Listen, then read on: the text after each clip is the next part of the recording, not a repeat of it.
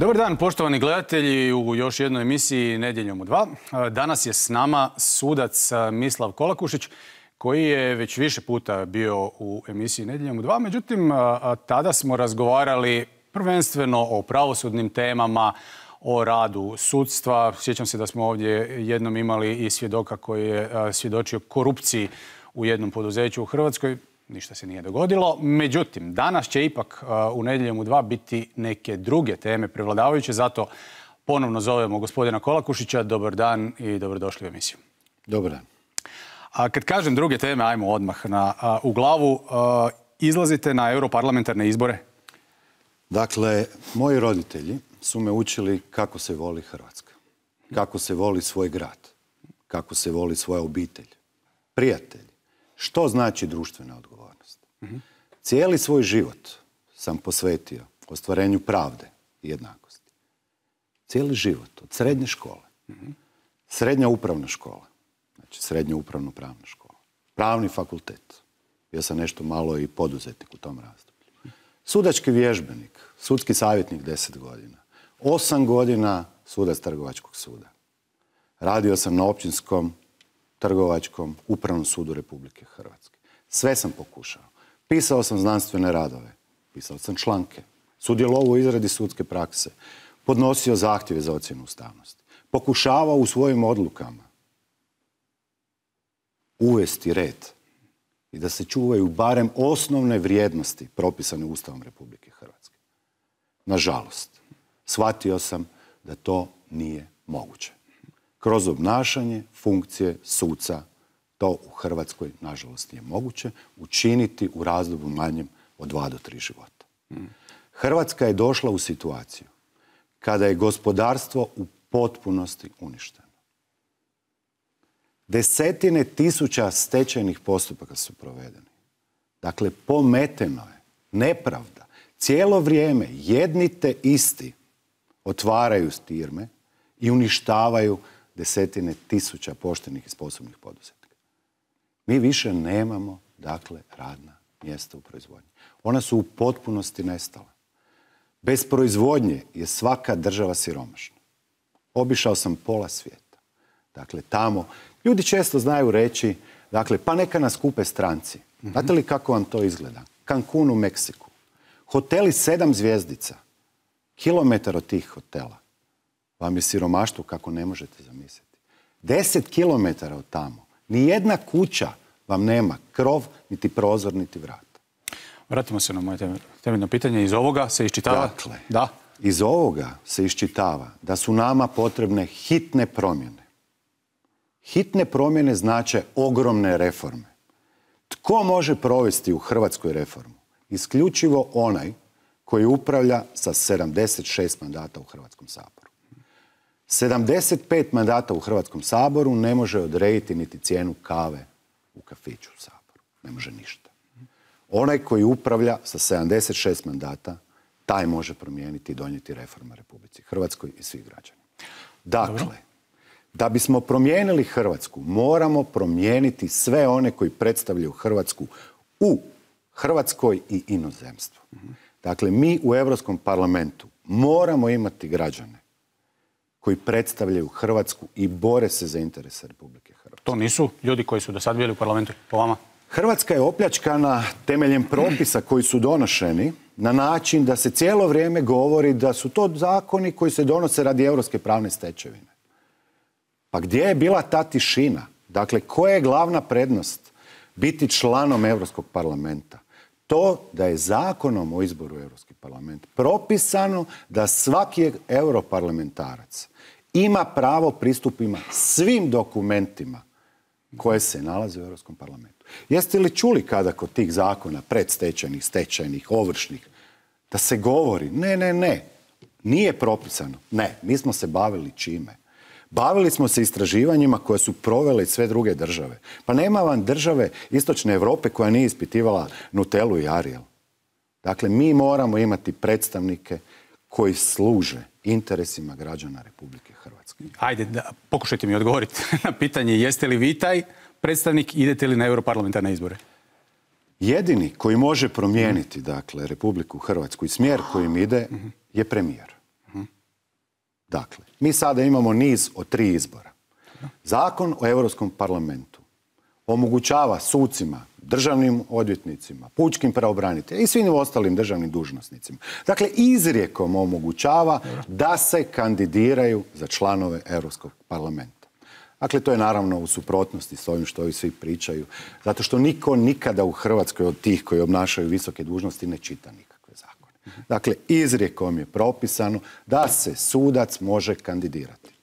Hoćete li se vi kandidirati? Ajde, dajte mi neki odgovor. Apsolutno da ću se kandidirati. Dakle, tisuće građana cijelo vrijeme od mene zahtijevaju da konkretnije mjere poduzmem. Konkretnije mjere su moguće isključivo na izborima.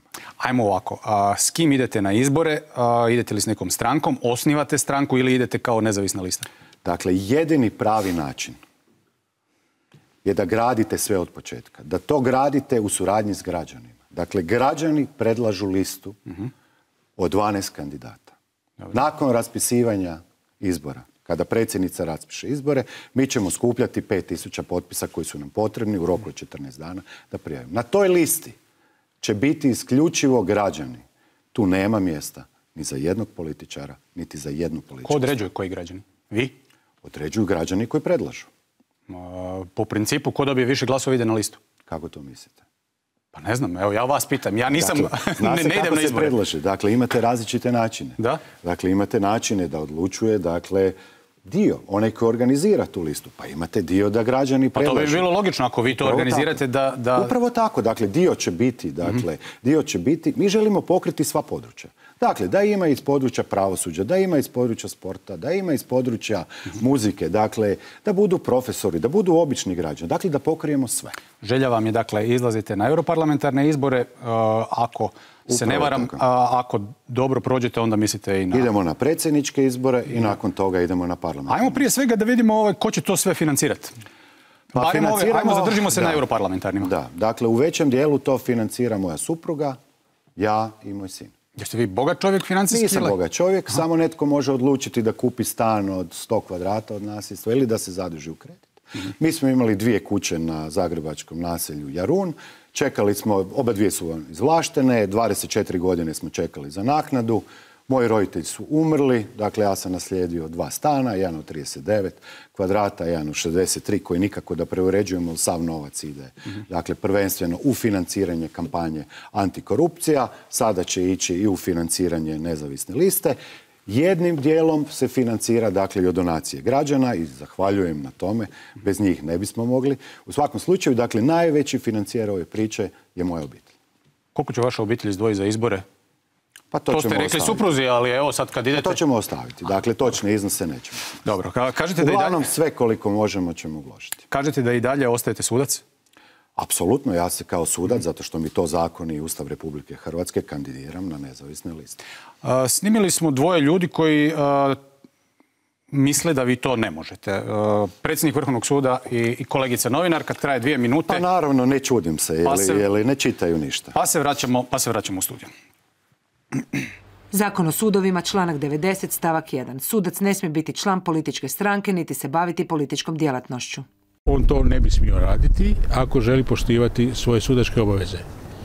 A ako ne poštuje svoje sudačke obaveze ili se bavi nekom djelatnošću koja je nespojiva sa sudačkom dužnošću, a politička djelatnost to jest, on bi morao biti razriješen. Dakle, morao bi sam zatražiti svoje razrješenje, a ako ne, onda bi trebalo DSV donijeti takvu odluku.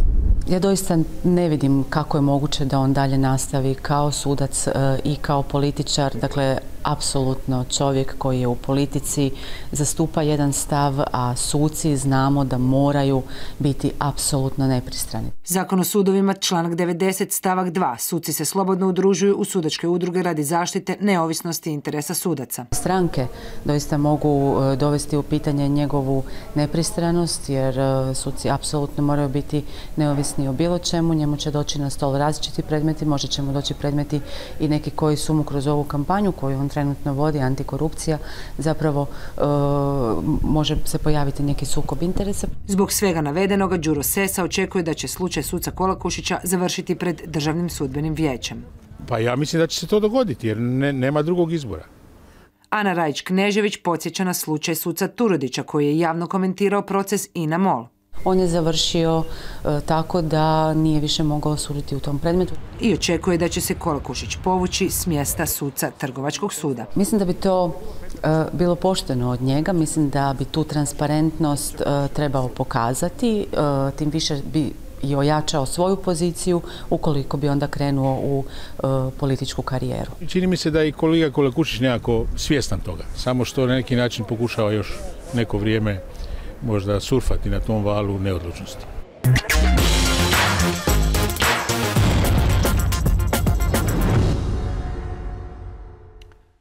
Evo nas ponovno u emisiji Nedjeljom u dva. gospodine Kolakušiću, vidjeli smo u prilogu.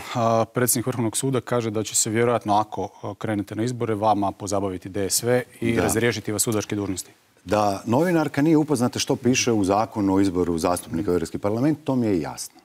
Ali da predsjednik Vrhovnog suda ne zna da je tim zakonom izrijekom omogućeno sucima da se kandidiraju je upravo ono o čemu ja cijelo vrijeme govorim. U Hrvatskom vladaju potpuno nesposobni ljudi. Ljudi koji nemaju elementarna znanja. To je strahota. Što ćete dalje? Dakle, ako DSV odluči da vas razriješi sudačke dužnosti? Pa vrlo jednostavno. Dakle, DSV, različiti sastavi Državnog sudbenog vijeća su cijelo ovo razdoblje pokazivali da ne poštuju niti temeljne odredbe njihovog zakona. Dakle, zakon o Državnom sudbenom vijeću izrijekom kaže da se mora za suca izabrati kandidat koji ima ostvaren najveći broj bodova. To, to, su oni radili. To ste već dakle, oni su radili, dakle, da su birali 23. 46. 71. 73. Nadalje, članovi DSV-a su birali sami sebe na više funkcije pa i na vrhovni sud. Što ćete vi napraviti ako vas se razriješe sudački Što ću ja napraviti? Pa oni će to prvo morati napraviti na javnoj sjednici pred građanima. Sigurno neću dopustiti da to naprave na nekoj nejavnoj sjednici kršenjem svih propisa Republike Hrvatske.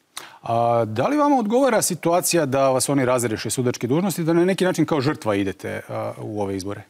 Pa žrtva, ja žrtvu dajem već 6 do 7 godina. Dakle, ja sam živio jednim stvarno fenomenalnim životom. Dakle, naslijedili smo sve, Dakle, nismo bili ono gramzivi, dalje živimo u stanu od 39 kvarata, mogli smo ga prodati, raditi stan 120 kvarata za dužice. Dakle, sa tim novcem omogućili smo si predivna putovanja i jedan predivan život. Dakle, kada sam krenuo u jače, u javnosti, zato što sam htio apelirati na građane, jer bez volje građana nema promjene, moj život se drastično promijenio. Dakle, ja žrtvujem svoj obiteljski život cijelo vrijeme. Što ako vam građani ne daju povjerenje na izborima? Što je oni, će to, oni će to sigurno učiniti. Dobro, što ako ne? Vi, vjerojatno... To jednostavno nije moguće da se Nije moguće? Apsolutno nije moguće. Dobro, recimo da ne mi smo provodili brojne ankete. Mhm. Brojne ankete. Dakle, mi znamo s kakvom podrškom građana raspolažemo. I ona je ogromna. A kad spominjete ankete, ove da tako kažem mainstream istraživanja, vas ne spominju. Možda će nakon ove emisije, sad kad ste ovaj, javno obznanili kandidaturu, možda će vas staviti u ta istraživanja. Međutim, ako se ne varam, vi svoj optimizam temeljite e, na Facebooku prvenstveno i činjenici da ste dosta, ha, ajde da tako kolokvijalno se izrazim, popularni na Facebooku. Ne toliko po broju ljudi koji vas prate, nego po broju ljudi koji prosljeđuju vaše mailove, koji govore o njima i slično. Upravo tako. Dakle, Republika Hrvatska je jedina država u kojoj se do sada najmanje dvije ankete konstantno, kroz sve ove godine, svaki mjesec o popularnosti političkih stranaka i nepopularnosti nekih drugih opcija. Sve te ankete jednostavno nisu utemeljene na nikakvim činjenicama. Jedna se kao navodno vodi pisanim putem. Zamislite, dobijete na kućnu adresu, dakle, e, upitnik, vi ga ispunite, pa ga onda zapakirate, pa ga pošaljete. Druga se vodi na, dakle, klasične telefonske linije. Koliko to ljudi ima. Mi smo zato, s obzirom da imamo preko 20.000 članova antikorupcije, upregnu naše volontere i proveli vlastite ankete. Čemu služe lažne ankete? Svi znamo da postoji dvije vrste protivnih glasova. Međutim, u politici postoji ona treća. Prva skupina protivnih glasova, ona što se defetizam izaziva, dakle, strašnim vijestima u medijima, neprocesuiranjem nijedne e, niti jedne, e, dakle, korupcijske afere, dakle, ubijanje građana u pojam. To je 50, odnosno 48% građana. Ne izlazim na izbore, svi su oni isti, ništa se ne može. Postoji 52% građana u Republici Hrvatskoj koji imaju osjećaj građanske dužnosti da moraju izaći na izbore. Jer znaju da na taj način čuvaju svoju obitelji i svoju budućnost. E sada, tu dolazimo do druge skupine protivnih glasova za koju svi znamo. To je glasanje protiv ovog lijevog i desnog krila iste partije i to sad ti glasovima odlaze potpuno svejedno, da li lijevo, da li desno. Nekad je to imao HSP, pa HSLS, pa Živi zid, pa Orah. Dakle, oni se cijelo vrijeme su glasovi protiv lijevog i desnog krila. Ona treća kategorija koja je nepoznata, a to je kategorija protivnih glasova unutar tog krila. Naša istraživanja su dovela, koja se u potpunosti poklapaju, dakle i sa rezultatima zadnjih europarlamentarnih izborima, a još više se poklapaju sa istraživanjem društvenih mreža, je da desno krilo nema više od 10% podrške. Što to znači? Znači nekih 340 tisuća maksimalnih glasova.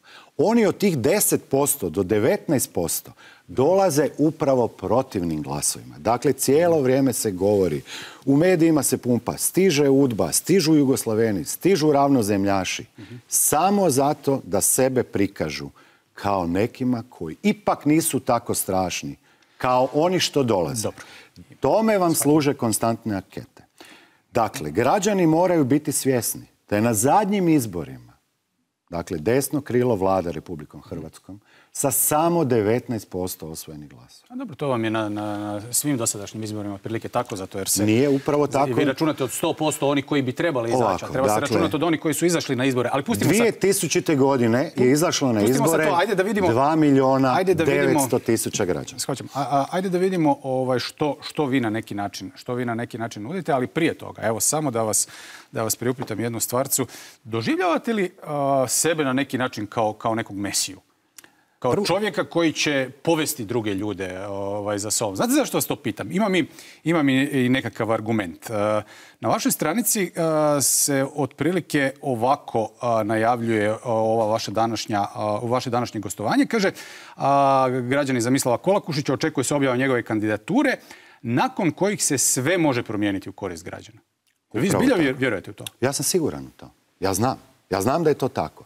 Upravo Što zato. znači sve se može promijeniti? Dakle, kako se uređuje život svih nas od našeg rođenja pa do smrti? Uređuje se zakonima. Dakle, svaki milimetar, koje je vaše pravo u rodilištu, kako se upisujete matični što stječete s tim. Ne, ne, ali- Kada umirete, Jasno mi je- sve se Jasno mi je da ste idealisti, to, to je Ne, ne, potrebno u politici. ali Nije to, nije kad to idealizam. ljudima sve će se promijeniti. Znate šta će pomisliti ljudi? Ljudi će pomisliti, odmah čim Kolakušić, ako dođe na vlast, odmah će mi mirovine biti veće. Neće. Upravo tako, Ma kako neće? neće? Pa neće, to je Upravo laž. tako. Ne, to nije laž. To je upravo to će se Jer vi dogoditi. da biste mirovine, ajde sad kad govorimo o mirovinama, da biste mirovine povećali ili morate, a, a to ne ide preko noći, ili morate po- a, povećati proizvodnu bazu u Republici Hrvatskoj, dakle jednostavno da nije rast BDP-a 2,6 nego da je iznad 5, ili morate uvesti velike poreze. Trećeg Ovako, nema. Ovako. Dakle, to sve je jedna strana medalje ako idete na taj način. Naša vizija je sasvim drugim putem. Hrvatska zarađuje relativno u redu. Dakle, prihod u proračun je relativno u redu. Gdje je problem? U rashodu. Vi možete imati 100.000 kuna plaću. Ako trošite 150 tisuća kuna, vi ne možete ništa. Dakle, Hrvatska ima sad trenutno 30 ministarstava. Znate li, ima 200 državnih dužnosnika i više. Dakle, ono ministar, ne, 400 čak. Evo, najavljuje smanjenje broja 400, ministarstava. dakle imate 21 ministarstvo, ali imate pet državnih ureda, šest e, organizacija državnih. To vam je nebrojeno. Nekad ste imali ministra i pomoćnika ministra. Sad imate ministra, tri državna tajnika, 16 e, zamjenika njihovih i tako non stop. Nebrojeni broj agencija različitih sa različitim ravnateljima, direktorima. Dakle, u jednom danu svi ti troškovi mogu biti odrezani. Svi govore, ali ja bi se ipak vratio dakle, na Facebook i ankete. To je vrlo ključno da kažem. dakle, sam, vrlo kratak ću biti. Dajete dakle, li vi sebi anketa- lažnu nadu ako Da. sve temeljite na Facebooku? Facebook Ne, je ne, ne. virtualan Ne, mi svijet, smo, to nije mi, smo, svijet. mi smo proveli anketu na preko 2000 ljudi. Dakle, koja nikada nije provedena u Hrvatskoj osim naše. Druge se sve baziraju od 500 do 1000. Mi smo ih proveli na uzorku od 2000.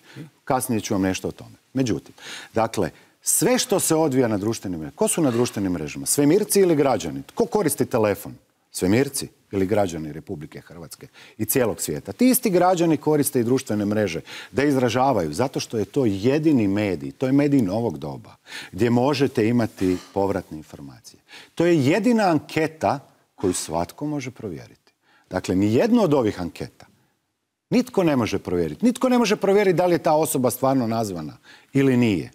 GDPR to ne dopušta. ali postoje, I sada ali, imamo... Ali postoje neke druge mreže osim Facebooka. Vi ste na Apsolutno. Facebooku popularni, na Instagramu niste.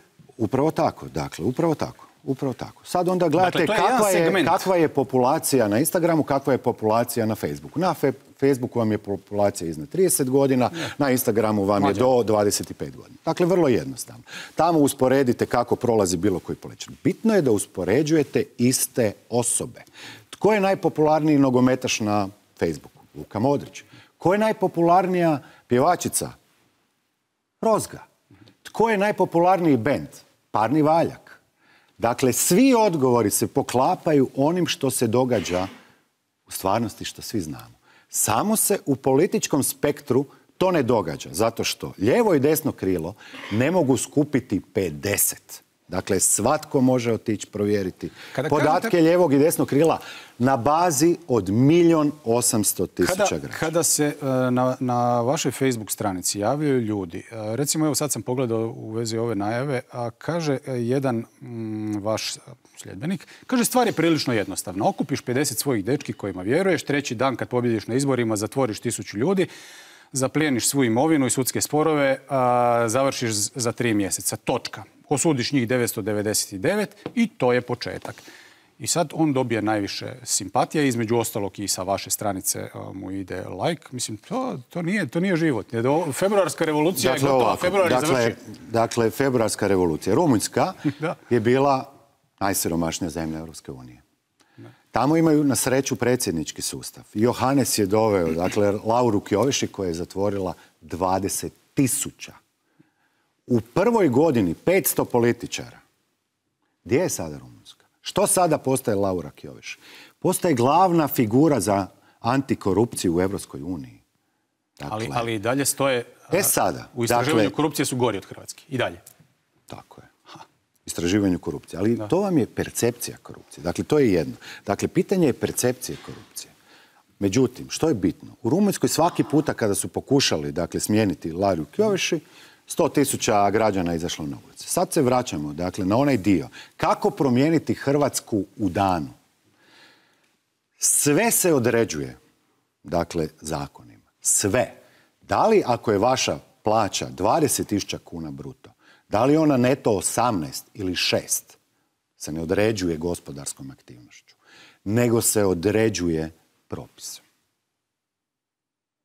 Dakle, samo time se određuje. Ako je vaša mirovina 600 kuna, da li će ona biti zaštićena od Možete sve- ovrhe ili Ne neće, možete sve određuje se. promijeniti. Čak i da imate 76 Apsolutno, 76 ruku. Ko je za zakon za stavljanje izvan snage 6000 propisa u Republici Hrvatskoj? Dosta, Kako revo- dosta, to što govorite do- dosta revolucionarno zvuči. Uh, Ali vrlo jednostavno. je, jednostavno. uh, Ako želite smanjiti uh, govori u prilog vama, međutim nije život tako jednostavno, barem, uh, barem nas Sve to ovisi o građanima, to o uči, nikom to uči do 20 i koliko, na sedam godina parlamentarne demokracije u Hrvatskoj. Ajmo na europarlamentarne izbore koji su vam prvi korak. Koja, gla- koja je glavna tema vaša koju ćete vi komunicirati oko ulaska u EU? Što vas, uh, uh, u stvari, ajde prvo da, da razjasnimo uh, jednu stvar. Vi kažete da želite biti premijer. Dobro, to znači da nećete ići u EU parlament ako... Idemo, naravno da idemo u Europarlament, nakon što pobjedim na predsjedničkim izborima, tada će doći zamjenik i onda idemo dalje. Čekaj, vi želite pobijediti na predsjedničkim izborima? Apsolutno. Na, svim izborima. Mi ih moramo maknuti iz svih sredstava upravljanja. Dakle, oni moraju postati povijest. Ako ne postanu povijest, mi građani ćemo postati povijest u vlastitoj zemlji. To je vrlo jednostavno. Uh, europarlamentarne izbori, što vas kao tema ovaj, zanima u, tom Europskom parlamentu? Ovdje ste već rekli imat ćete dostup svim zakonima, dobro u redu, međutim ovaj, neke, neke druge teme uh, dominiraju u, u Europskom parlamentu. Tako je. Dakle, Europski parlament ima 500 zastupnika. Što mislite, koja je uloga 11 ili Ima 12 700. zastupnika? 700. Pa eto, 700, 700 i nešto. Da, sad kad je izašla Velika Britanija se smanjio broj. Dakle, koja je uloga 11 zastupnika u Europskom parlamentu? Oni mogu biti jasni i glasni. i ništa drugo. Dakle, taj glas ništa ne vrijedi. To je glas kao jednog zastupnika u Hrvatskom saboru. Ali možete biti jasni i glasni i reći dosta je. Što je Europa? Europa mora biti obitelj. Europa je nastala kao ekonomska zajednica. Tako je nastala Europa. Koju su osmislili Njemačka i Francuska radi svojih vlastitih interesa. Radi širenja vlastitog tržišta i kupljenja besplatne radne snage. Mi školujemo liječnika, inženjera, svejedno, brodogradnje, inženjera elektrotehnike. Potrošimo i uložimo u njega milijon i po kuna. Oni nas osiromaše i besplatno uzimaju gotove. Dakle, naš liječnik kojeg smo mi uložili milijon i po kuna liječi besplatno Njemce i Austrijance. Što su oni mogli? To vam je sad tako kad smo jedna unija. Tako je, ali jesmo li obitelj ili nismo obitelj? Što smo mi? Koji su naši interesi? Jesu li naši interesi da vi samo proširite tržište i uzimate besplatnu radnu snagu? Njemačkoj fali 600 tisuća radnika svake godine. Kako se tih 600 tisuća može rasporediti? Pa zar ne bi bilo normalno da Njemačka otvori dvije tvornice u Hrvatskoj? Pa će joj faliti manje radnika tamo, jer će ih tu zaposliti. Čak su im jeftiniji. Dakle, Hrvati su jeftiniji, Pa radnici u Hrvatskoj, nego kad ih dovedu vi Njemačku sami da ste, bili, da ste bili poduzetnik, ali to vam je ekonomska logika. Zašto bi BMW ovdje otvarao, ne znam, proizvodnju? Zašto Sad smo mi pričam, zajedno? Sad pričam na pamet ako, ako su mu uvjeti u Slovačkoj bolji. A, a Sad se postavlja pitanje zašto smo mi stvorili zajedničku državu. Zašto? Je li to samo temelj tržište? Ako je samo tržište temelj, pa kako je moguće da mi tako mali, jadni, bez ikakve proizvodnje, smo ušli među velike zvijeri? Pa što bismo mi njima prodavali? Dakle, prije ulaska u Mi Europsku smo uniju... njima prodavali lijepo vrijeme i obalu, što je što i Pa to im prodajemo i bez toga. Ali vele da nam Lijepo ide- vrijeme im prodaje i Kuba Ali da nam i ide Tajland bolje sad koji nisu kako smo u Europskoj uniji. Dakle, ide nam bolje. A, tako rezultati govore. Koji rezultati? Pa turističke sezone. Dakle, koliko je vanjski dug Republike Hrvatske? Koliki je bio standard hrvatskih građana? Dakle, 2013. godine standard hrvatskih građana je bio 61% prije ulaska u Europsku uniju. Sada je 59%, dakle u odnosu na prošle. Dakle, 2% smo pali. Kažemo sloboda kretanja roba i kapitala. Pa većina hrvatskih građana ne može niti do Splita, niti do Zagreba, kamoli negdje drugdje. Što mi moramo? Mi moramo pokazati da želimo svoja prava. Sad nema izlaska iz Europske unije. Pa mi smo deset, ne znam, četiri milijarde je objavljen podatak sad prošle godine da smo uplatili vjerojatno četiri. Znači negdje možda i dvadesetak milijardi kuna smo mi uplatili članarine u Europsku uniju, a povukli smo tri milijarde. Nema izlaska dok nam ne vratite navodno naše to nije novce. točan, točan podatak. Navodno više, Zašto više mi, dobivamo nego što ulažemo. Zašto mi nemamo javno objavljene sve te podatke? Zašto nemamo? Zašto svatko od nas ne može vidjeti? Pa reći će vam ovi zastupnici u Europskom parlamentu da se, da se to može. Prošle godine smo uplatili 3,6 milijardi kuna, ako se ne varam, a, prvenstveno od carina PDV-a i prihoda po osnovi BDP-a, a negdje oko od 4 milijardi kuna je navodno došlo u Hrvatsku. Po drugim podacima došlo je jedna milijarda. I što ćemo sada? Dobro, a, mislim, Gdje su ti podaci da ih svi možemo provjeriti? Dakle, ovi kažu ovo, ovi kažu ovo, super, genijalno. Što mi moramo zahtijevati? Mi moramo zahtijevati da nas se poštuje. Mi to cijelo vrijeme ne ali radimo. moramo prvo sami sebe poštovati. Upravo tako. Tako da- Hrvatska se neće izgraditi i spasiti u Europskoj uniji, nego u Hrvatskoj. Očekivali smo da će nam pravosuđe procvjetati, da će nestati korupcija ulaskom u Europsku uniju. Hoće li građani da se to dogodilo? Da li se to uistinu dogodilo? Nije. Situacija je još znatno. Zato što se- Europska unija isključivo volite, ekonomska se, vol- zajednica. volite se pozivati na, na, na podatke. Ovaj, ti podaci kažu da, sad ste mi malo prije govorili o percepciji, da je ta percepcija ipak drugčija od realnog stanja. Da je ipak recimo korupcije puno više u policiji, zdravstvu, mirovinskim, fondu, Pravosuđu. a, mirovinskim e, nego, nego, nego na samim sudovima. Ne, to nije istina. U pravosuđu je korupcija ogromna. I ona se vidi. Svako nju vidi. Dakle, imate opljačkanu zemlju, a nitko nije odgovarao. Dobro, šta je sa podacima? Evo ovdje sam imao prije dva tjedna a, zamjenika predsjednika a, Vrhovnog suda Marina Mrčalu koji kaže da, percepcija je takva, međutim ovaj, kada pitate ljude jesu li kad dali mito sucu, a, 97% njih, što je najveći postotak u EU, će reći ne, nisam. Da. Da li vi mislite da se Mislim, nudi ne mito znam. sucu, pokucate na vrata? Ka- ka- Kak da velim, ovaj, e, ja puno više ljudi znam koji su dali liječnicima mito, a recimo su- sucu ne znam da je iko dao mito. Dakle, gdje Znate je vi, problem? znate li vi primjere? Je li vama neko nekad nudio mito? Meni nije. Taj bi bio stvarno Da. hrabar, iznimno hrabar i jako lud. Dakle, mito vam se ne nudi da se pokuca vrata. Bitna vam je dodjela predmeta. Zbog čega se predsjednici sudova toliko grče da bi to postali i onda imenuju svoje podane ljude da budu predsjednici odjela? Zato što je bitna raspodjela predmeta. Tu je ključ stvari. Vi dogovarate na višim razinama i onda vam se susretnu dva posrednika koji jedan drugom donesu novce. Nema nikada direktnog kontakta. Dakle, bitno je da se sve unaprijed dogovori i ništa vam se tu ne može vidjeti. Sad kad pričamo o sudovima, e, predsjednik Vrhovnog suda Đuro Sesak kaže da, da ste sudac koji nije marljiv. A, njegova izjava kratko traje. Pogledat ćemo je, kaže da imate dosta neriješenih sudskih predmeta, a vi onda možete komentirati o čemu se radi. Sudac, sve to je sve ove plemenite ideje koje ima, a borba protiv korupcije svakako jest, to čini u svojoj sudnici. I prema onome što ja znam, kolega Kolakušić je u prošloj godini imao 286 prilika da to učini, a u nijednom predmetu nije poduzeo nijednu radnju e, da bi to učinio. Prema e, spisu a to je njegova dužnost i zato prima plaću, on je imao 286 predmeta u radu parničnih, dakle nekih 560 stranaka najmanje, u kojima i nije pružio nijednu radnju kojim bi pružao pravnu zaštitu. Dakle, a, kaže a, predsjednik Vrhovnog suda, relativno ste dobri u rješavanju stečajnih predmeta, ali sa parničnim predmetima ste više nego loši. Dakle, svaki sudac se mjeri po samo jednom kriteriju, a to je ostvarenje godišnje norme. Svaki predmet ima svoju težinu. Prošle godine, koji predsjednik Vrhovnog suda, koji nije riješio, by the way, niti jedan jedini predmet, a te podatke mu je dostavio drugi predsjednik Trgovačkog suda, koji također nije riješio niti jedan jedini predmet, nego lažno prikazuje predmete koje riješi sudska savjetnica u njegovoj referadi, prikazuje ih sebi. Ja sam imao 190% temeljem okvirnih mjera. Koliko bih trebao imati? 400%. Dakle, ja sam riješio u sav ovaj angažman za dva suca. Koliko sam riješio prošle i pretprošle? 164% i 146%.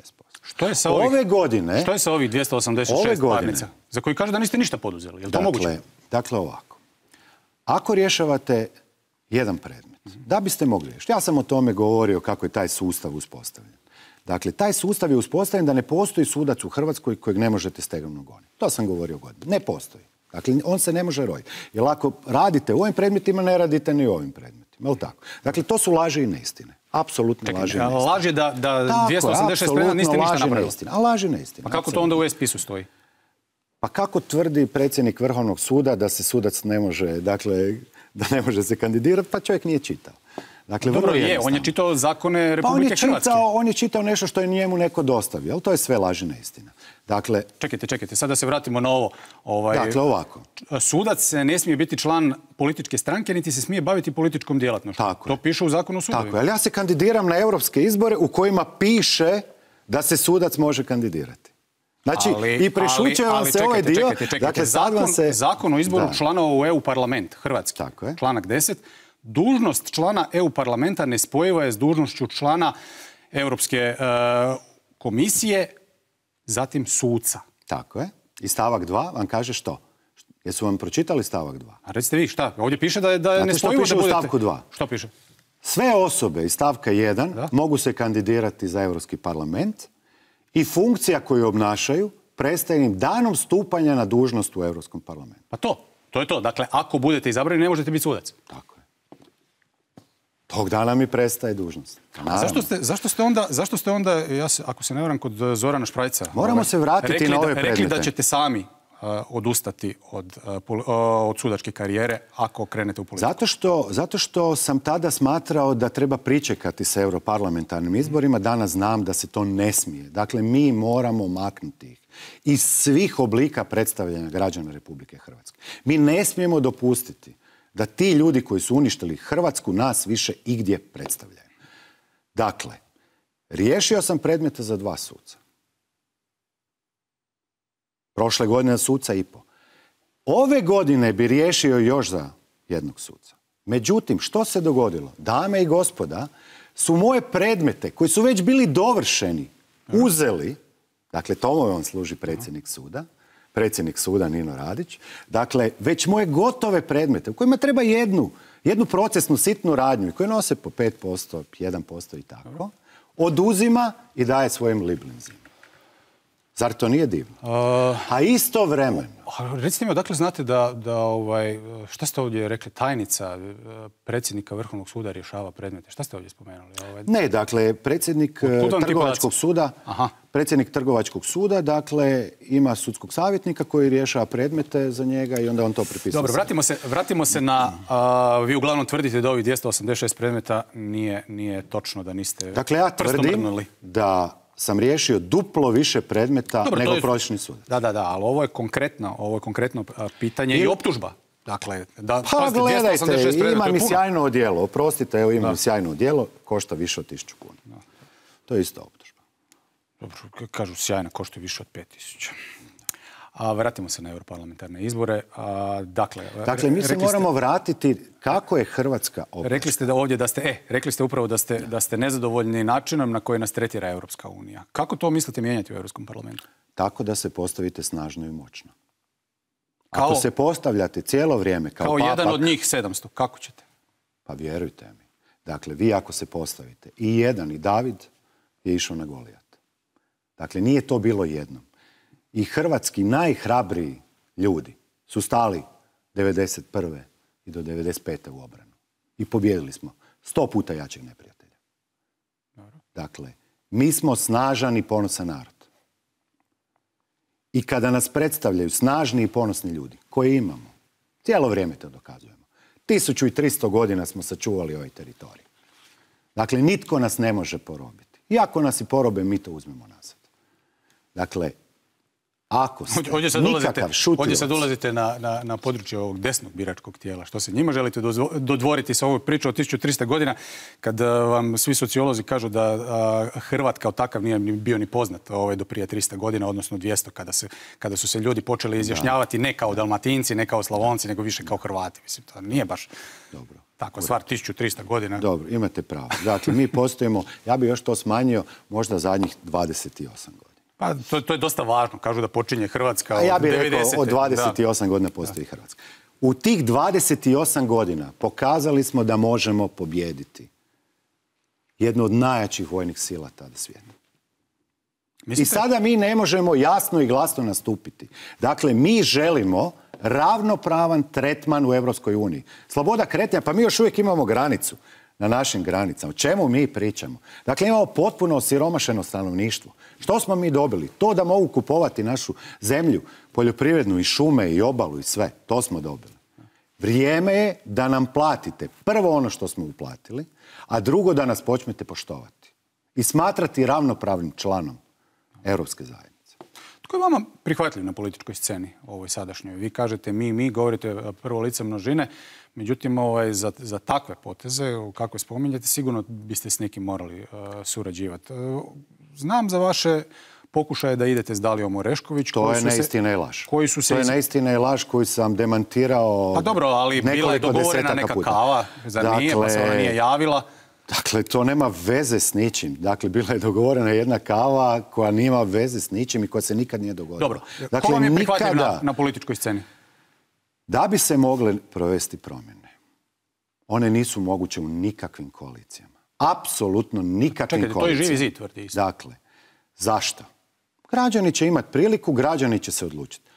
Svaka koalicija nužno dovodi do samo povećanja broja ministarstava svega. U svakom kolektivnom tijelu i odlučivanju nitko ne preuzima odgovornost. Zašto bi ja, kao budući ministar pravosuđa i policije, preuzimao odgovornost za hapšenja, a ovi drugi bi odlučivali o nečem drugom?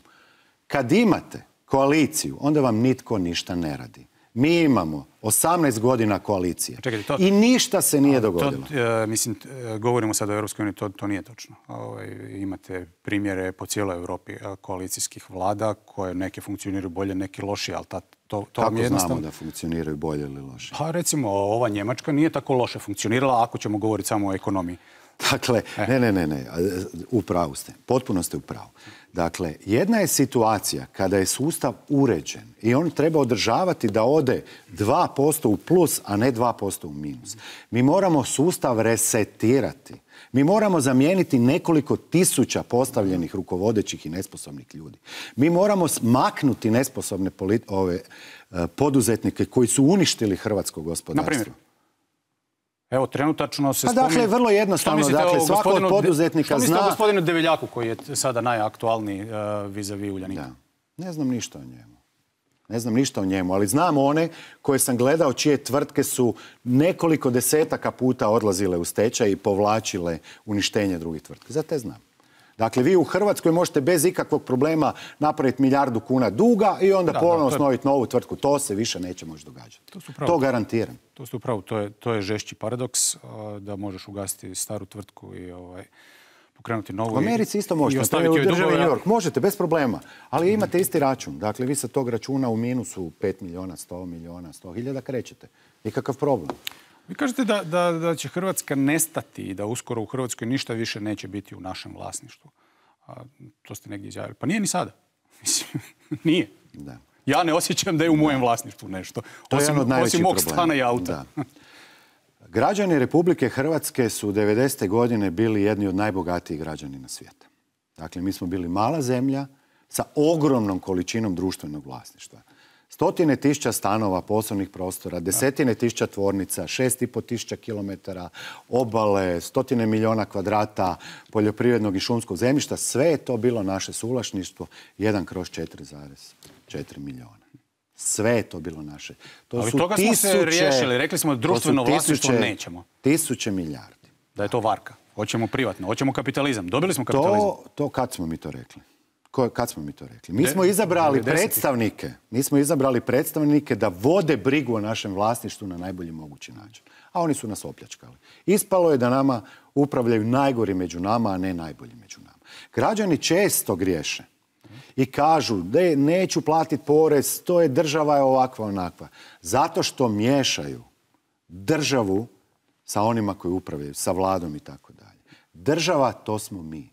Svaka stopa Hrvatske, to je naše vlasništvo. Građani moraju shvatiti. Najlakše im je objasniti što je država na principu više stambene zgrade. Dakle, vaš stan je vaš stan, moj stan je moj stan. Stanujemo na istom katu. Hodnik je naš zajednički, žarulja u hodniku je zajednička. Lift je zajednički i svih. Krov je zajednički. Okoliš oko zgrade je zajednički. Koga mi sada, kao vlasnici toga, kao što smo vlasnici svake stope bili Hrvatske zemlje, još uvijek nije sve otišlo, ali kraj nam se bliži, uzimamo nekoga da upravlja našom imovinom. To je upravitelj zgrade. Što činimo kada upravitelj zgrade promijeni žarulje, one košta 200 kuna kome? Isti dan ga promijenimo. Isti dan. Što činimo kada dođu i pokradu sve žarulje i mi živimo u mraku? Ništa. Šutimo, ništa se ne može, kukamo, e pa može se. Ja tražim samo sat vremena svakog punoljetnog građanina Republike Hrvatske da učini svoju građansku dužnost, izađe u nedlju na izbore i da glas kome on smatra da treba. Neka si stavi lice čiju budućnost, budućnost sebe, svoje obitelji, u čije ruke će staviti. A, niste mi odgovorili na pitanje. Europarlamentarni izbori, što, u stvari, ne znam, hoćete vi biti na toj listi, hoćete? Ja ću biti nositelj te liste. E, što ako vas izaberu za EU parlament? E, da li vi ulazite u taj EU parlament? Ulazimo u Europarlament i odmah krećemo kampanju za predsjednika Republike Hrvatske. Dobro, da. U redu. Sva, sva istraživanja kažu da je HDZ, ovdje ste nešto govorili o tome, međutim da, da, je, da je HDZ što se tiče popularnosti na 30%. To je sve lažina istina. Odlično stoje, oni se isto ovaj, na neki način Kada bi to tako bili, time. ne bi ni pokušavali, ali to nije To nije istina. To je najobičnija laž. A da je to laž... Čekajte, a na prošlim, na prošlim izborima je to bila istina. Haj, kako vam se događa to? Tome vam služe te lažne ankete. Vi kad imate štand, ja, mi smo sad prošli sa štandovima Hrvatsku, ja sam se bavio proizvodnjom namještaja, ja znam šta znači pet ljudi na štandu. Vi kad imate pet ljudi na štandu, vi ćete odmah imati deset. To je ono što sam vam govorio o o trećoj grupi protivnih glasova. Dakle, vi, oni koji ne žele da stiže Jugo, Udba, Jugoslovenije, ne znam ja šta, oni kažu HDZ kakav god da je bolji je. Dakle, to imate i ovo kad kažete oni imaju 30%, guraju se građani, zato što građani ne žele baciti glas. Oni ne prelaze 10%. Na zadnjim europarlamentarnim izborima osvojili su 11, na zadnjim parlamentarnim 19. Ako građani ne misle da se može pobijediti, pa čak i tih napumpanih 19%, onda uistinu je vrijeme da svi kažemo laku noć. Jel to, e, sad kad govorite o laku noći, je li točna informacija da, da ako ne uspijete u politici, da ćete otići iz Hrvatske, da, vam je, da će vam Hrvatski biti do tu? Pa moja obitelj razgovara o svemu. I mi donosimo odluke. Za sada sa obiteljskim odlukama nećemo izaći u javnost. A, ovdje smo govorili o korupciji, a, o pretpostavci da je u hrvatskom pravosuđu a, više manje sve korumpirano. Ja sam vam ovdje nešto spomenuo da istraživanja govore drugčije, da je puno više korupcije u ne znam, policiji ili, ili zdravstvu. Kako promijeniti situaciju u sudstvu? Vrlo Da. jednostavno. Vrlo jednostavno. Kao što sam rekao, dakle, korupcija ide putem uspostavljenog sustava. Dakle, u tom sustavu je dvije važne stvari da bi se korupcija mogla dogoditi. Morate imati jako puno stupnjeva. Prvi stupanj, drugi stupanj, Vrhovni sud, Ustavni sud. Dakle, ako ne uspijete dobiti odluku, ako slučajno kompjuterski sustav dodjeli nekom predmet, nek predsjednik suda na bolovanju, završi u krivim rukama taj predmet, riskantno ga je nekome oduzeti, vi morate imati jako puno sustava da možete reagirati. To je prvo. Drugo je funkcija predsjednika sudova ovakva kakva je.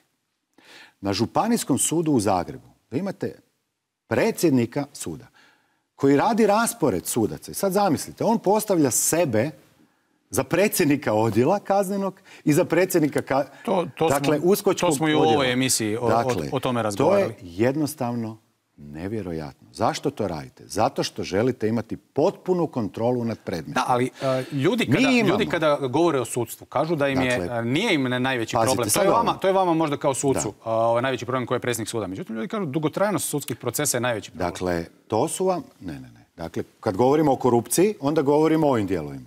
Zašto je dugotrajnost? Onda imate prvi dio. Da. A ponovno imate i drugi dio. Sad ćemo objasniti zašto i prvi i drugi.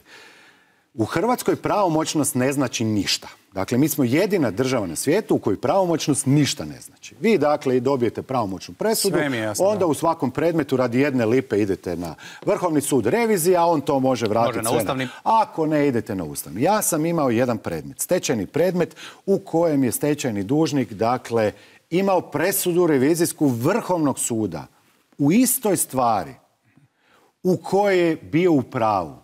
I onaj koji je podnio prijedlog za stečaj, protiv njega moramo je uplatiti nekoliko milijuna kuna. Međutim, taj koji je morao je istovremeno pokrenuo prijedlog za ponavljanje postupka, koji se vodio paralelno. I predmet je došao na Vrhovni sud par mjeseci kasnije. I onda je Vrhovni sud diametralno suprotno sudio ovome. Dakle, to je kaos. Drugo, mi zbog funkcije predsjednika sudova, zamjenika predsjednika, oni su vam oslobođeni, oni se probude prvog, prvog i imaju 100% norme, ni- ne rješavaju ni jedan predmet, tako je to propisano. Onda oni oko sebe biraju druge osobe koje neće ništa rješavati. Zamjenike predsjednika, predsjednike odjela i tako. Miljon predmeta, Pa dobro, oni imaju faktički menadžerski posao. miljon predmeta u Republici Hrvatskoj, dakle, tako nešto ne smije postojati. Em što je uzrok korupcije i plodno tno za korupciju, em što se stvaraju neki nadsuci, drugo vi imate miljon predmeta manje riješenih. Dobro, kad kažete da je to uzrok korupcije, koliko je ljudi osuđeno a, zbog ovoga što vi govorite? Nitko. Ako. Dakle, Nema tu, nijedne- tu, tu vam je sada... nema nijedne osuđujuće Tako presude koja go- bi Upravo govorila tako. vama u prilog. Upravo, zašto? Zašto mislite da osuđujuća presuda govori u prilog? Pa, a Vi ja, mislite da- Inače je sve percepcija. Tako je. A što je percepcija? Dakle, ako vi imate osobu koja ima 9000 kuna plaću, a imovina njegovog sina koji ima 6 mjeseci je 7 milijuna eura, a on je sudac, što onda?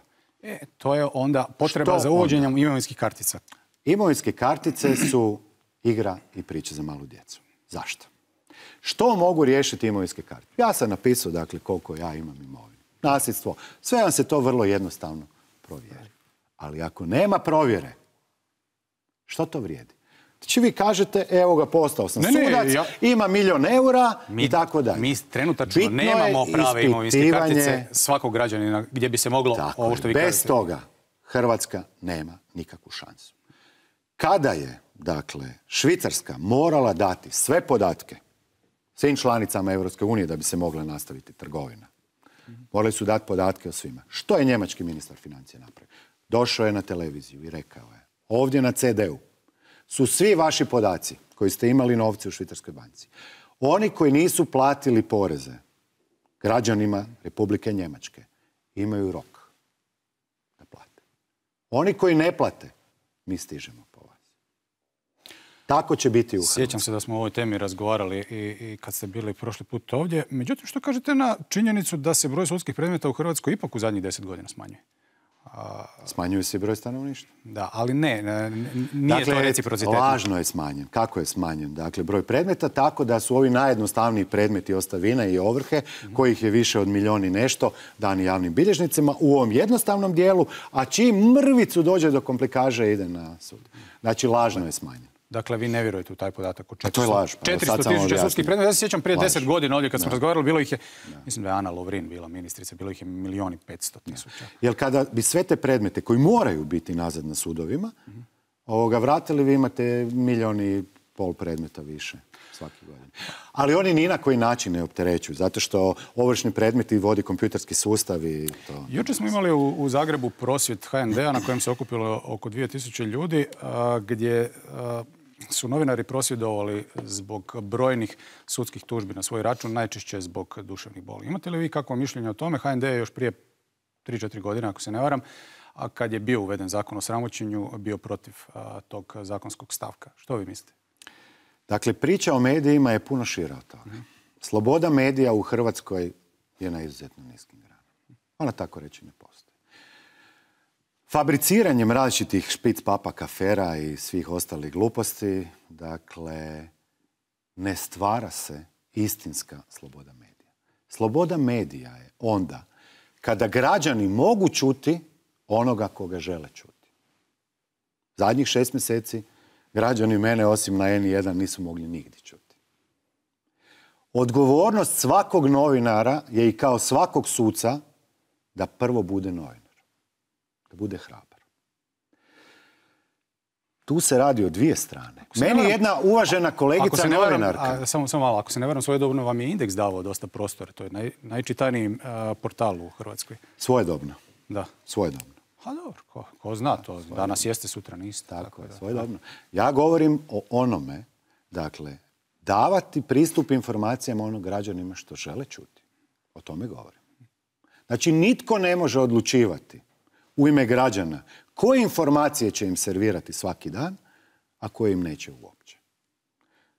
Dakle, možete raditi Čekajte, dakle- showbiz, možete raditi ovo. Pa upravo su novinari ti koji odlučuju šta je važno, što nije. Upravo ja ne tako. kažem da, da svi rade ispravno svoj posao, ali neko mora biti između. Upravo tako. I ne- inače, Ja ih pozivam da rade svoj posao. inače Agora. Dobro, šta mislite, ovaj, a, treba li se ukinuti, pitao sam vas, ovaj, kazneno djelo sramoćenja?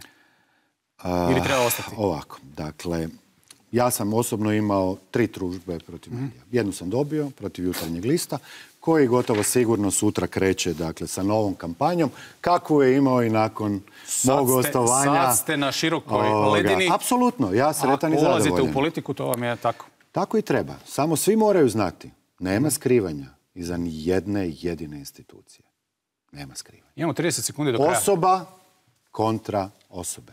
Ime, prezime kontra imena i prezimena. To svako mora biti svjestan. Hvala vam lijepa uh, na gostovanju u emisiji. Poštovani gledatelji, bilo je to sve za danas. Vidimo se za tjedan dana na istom mjestu u isto vrijeme. Do tada, doviđenja.